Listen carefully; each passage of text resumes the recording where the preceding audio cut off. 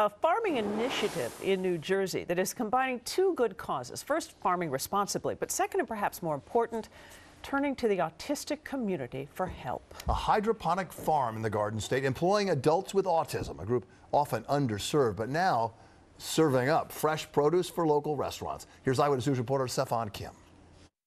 It's an ebb and flow system. Twice a day for five minutes, we fill the trays up with water and then we drain them away five minutes later.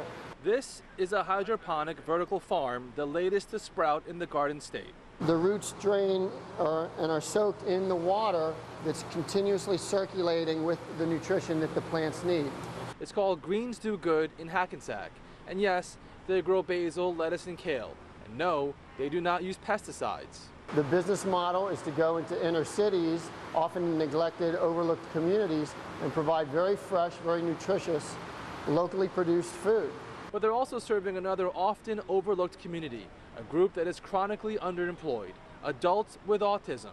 Jill Nadison is the executive director of REED Next, the nonprofit organization providing the almost dozen employees at this farm. Many, many thousands of adults with autism need that daily life support.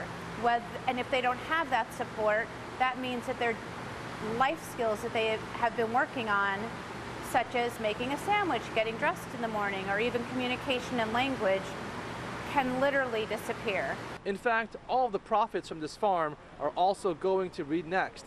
As for the produce, it's being sold to local restaurants and businesses. This is a lot more than traditional agriculture can produce on a square footage basis. New Jersey, by the way, has the highest rate of autism in the nation.